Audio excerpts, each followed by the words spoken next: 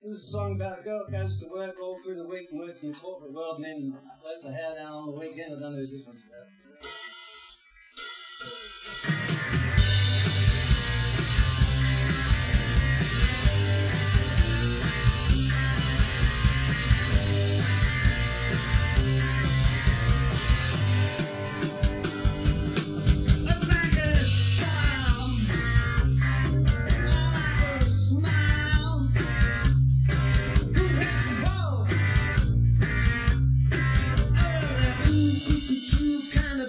Talk